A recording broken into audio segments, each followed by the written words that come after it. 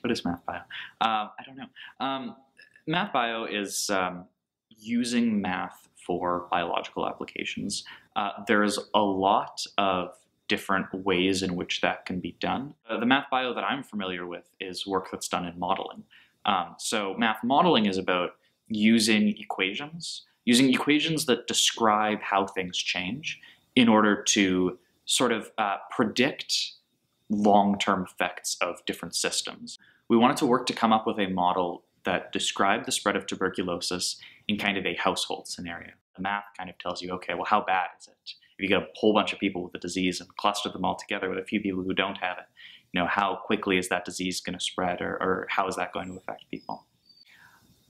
I think more than anything, um, the most inspiring thing is sort of um, the idea that this can really be useful, right?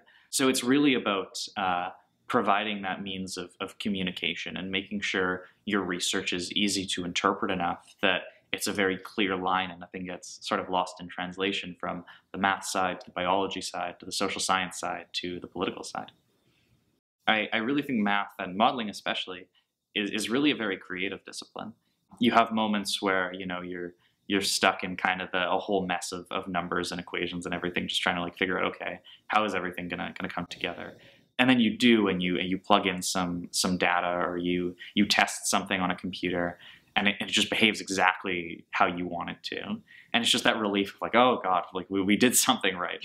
Um, and it's really, really, uh, it's a really powerful feeling. It's really emotional feeling of just like you you accomplish something and you put the pieces together.